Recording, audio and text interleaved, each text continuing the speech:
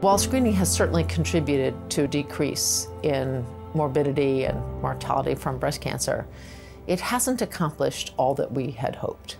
The approach to screening has essentially been unchanged since 1980. The whole idea behind screening was that if you could catch a cancer at an earlier stage, that that would be the way in which we could make a dramatic impact on the risk of dying of breast cancer.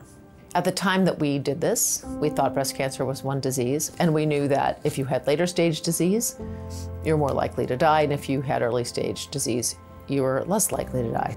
But decades later, I think we are in a different place. What we know is that breast cancer is not one disease. It's many diseases. Some grow very fast, some grow slowly. Some have lots of risk over time, and others have risk over the first three to five years. Everybody doesn't have the same risk for breast cancer, and everybody doesn't have the same risk for the same type of breast cancer. So it stands to reason that perhaps we need to rethink our strategy.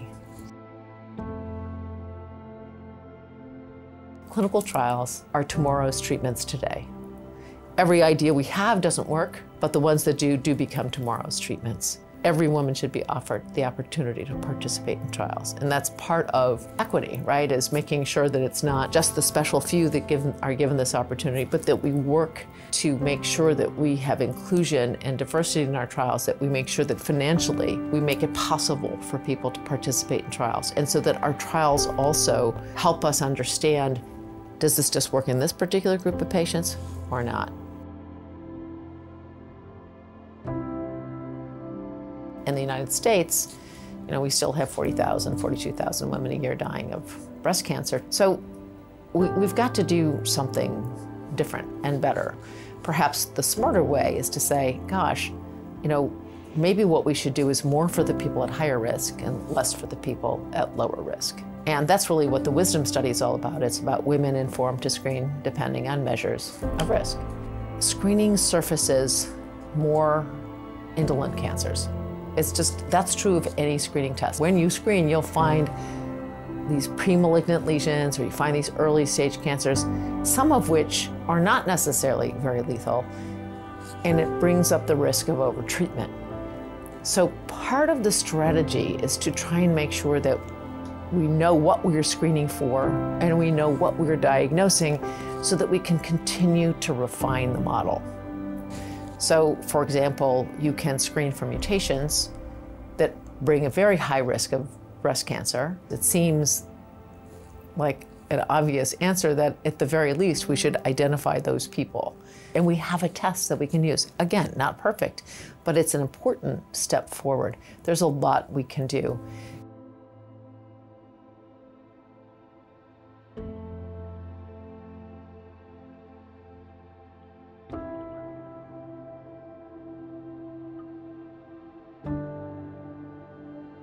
So I-SPY is a platform trial, and a platform trial means that, that the backbone of the trial is essentially the same. You're asking the question that you can serially run drugs in and out of the trial to answer similar questions. So every time you bring in a new drug, you don't have to start all over with a new trial. So you save a couple of years for each drug you bring in. So the idea is to accelerate knowledge turns. That's the experiment we're running. So we took high-risk women, took new agents and new drugs, moved them from being tested once they had safety testing in the metastatic setting, to move them forward and not wait 10 or 15 years till we've sorted them out to try them in the early stage setting.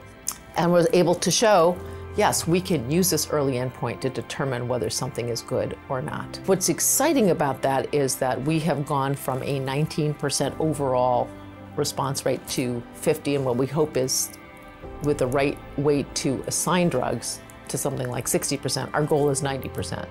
This is a tremendous opportunity for us to set the stage for making prevention a really central theme of how we think about screening. And what you want to do is set up this framework to make prevention research and prevention improvements a reality.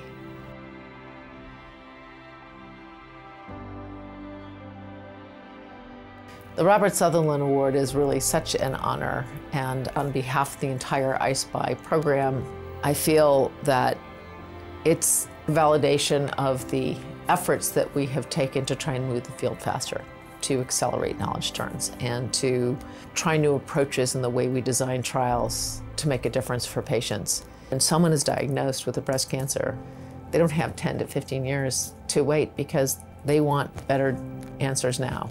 Now, we don't always have them, but I feel very committed to trying to get those answers much faster and to make progress. And so that in my lifetime, we could see 90% complete response rates with less toxic therapies.